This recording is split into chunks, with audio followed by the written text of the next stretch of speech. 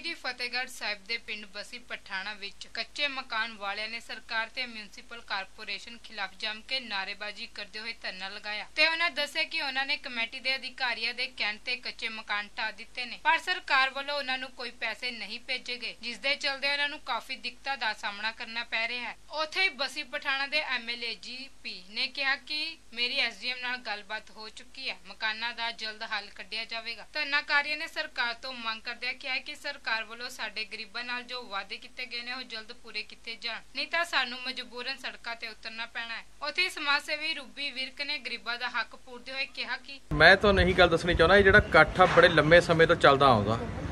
ਗਰੀਬਾਂ ਦੀ ਕੋਈ ਗੱਲ ਨਹੀਂ ਸੁਣਦਾ, ਜਿਹੜਾ ਕਮਜ਼ੋਰ, ਲੋੜਵੰਦ ਬੰਦਾ ਨਾ, ਉਹਦੀ ਕਾਂਗਰਸ ਸਰਕਾਰ ਦੇ ਵਿੱਚ ਤਾਂ ਪੁੱਛ ਹੈ ਨਹੀਂ।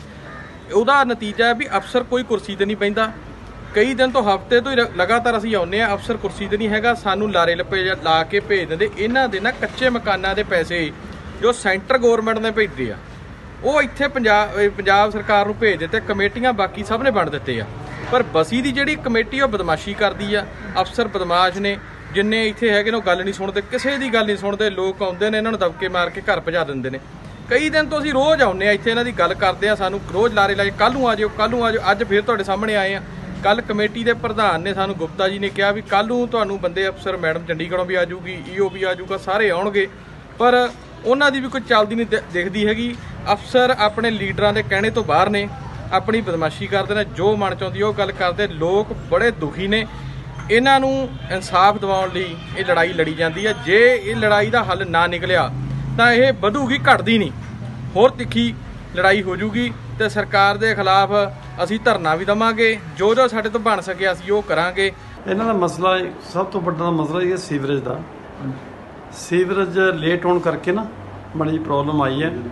ਉਹ ਆਉਣ ਵਾਲੇ 4-5 ਮਹੀਨੇ ਜਿਹੜੀ ਪਾਣੀ ਦੀ ਸਮੱਸਿਆ, ਕਿਉਂਕਿ ਇਹ ਜਿਹੜਾ ਐਸਟੀਪੀ ਵੀ ਬਣ ਜਾ ਰਿਹਾ। ਜਿਹੜੀ ਟੋਬੇ ਦੀ ਸਮੱਸਿਆ ਜਿਵੇਂ ਬੰਦ ਨਾਲ ਟੋਬਾ ਹੈ ਉੱਥੇ ਜਦੋਂ ਸਾਰਾ ਸ਼ਹਿਰ ਦਾ ਪਾਣੀ ਉੱਥੇ ਚਲੇ ਜਾਂਦਾ ਉਹ ਸਾਰਾ ਓਵਰਫਲੋ ਹੋ ਕੇ ਲੋਕਾਂ ਦੇ ਘਰਾਂ 'ਚ ਵੜਦਾ।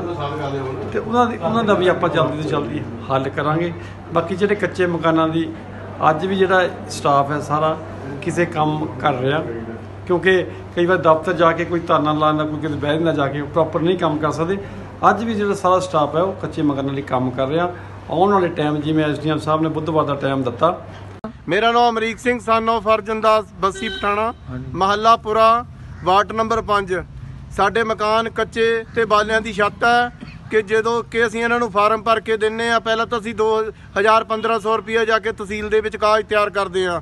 ਫਿਰ ਜਦੋਂ ਅਸੀਂ ਆ ਕੇ ਇਹਨਾਂ ਨੂੰ ਦਿੰਨੇ ਆ ਤੇ ਇਹਨਾਂ ਨੇ ਸਾਨੂੰ 4 ਮਹੀਨੇ ਹੋ ਗਏ, ਪਹਿਲਾਂ 2017 ਚ ਵੀ ਅਸੀਂ ਆਨਲਾਈਨ ਤੇ ਫਾਰਮ ਭਰੇ, ਉਦੋਂ ਤੱਕ ਸਾਡੀ ਕੋਈ ਸੁਣਵਾਈ ਨਹੀਂ ਹੋਈ। ਹੁਣ ਵੀ ਸਾਡੀ ਕੋਈ ਸੁਣਵਾਈ ਨਹੀਂ। ਸਾਡੀ ਇਹੀ ਮੰਗ ਹੈ ਕਿ ਸਾਡਾ ਜੋ ਹੱਕ ਹੈ ਸ- ਜੋ ਸਰਕਾਰ ਨੇ ਪੈਸੇ ਭੇਜੇ ਹੋਏ ਆ ਉਹ ਸਾਨੂੰ ਦਿੱਤੇ ਜਾਣ।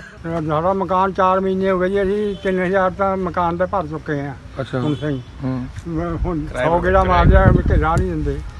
ਅਸੀਂ ਫਾਰਮ ਵੀ ਕਰਾ ਅੱਛਾ। ਤੇ ਰਾਤ ਦਾ ਰਾਤ ਰਾਤ ਦੇ ਫੋਟੋ ਖਿੱਚ ਕੇ ਲੈ ਗਏ ਆ।